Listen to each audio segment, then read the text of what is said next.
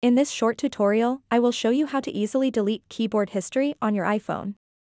Your keyboard history refers to the words and phrases that your device remembers as you type, making it easier for you to write messages, emails, and other stuff. Sometimes, these saved suggestions can be inconvenient or embarrassing, so it's important to know how to clear them.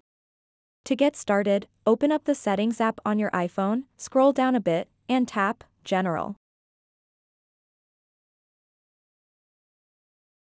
After that, scroll down to the very bottom. Tap, Transfer or Reset iPhone. And then tap, Reset.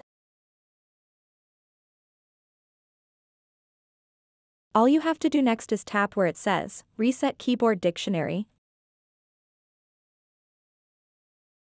and then enter the passcode of your iPhone to confirm it.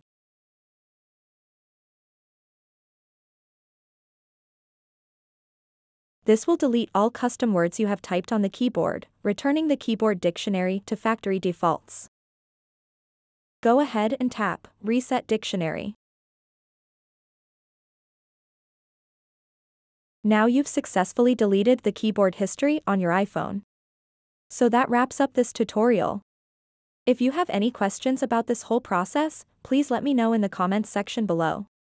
And if this video helped you out, please give it a big thumbs up and subscribe to this channel for more tutorial videos like this one.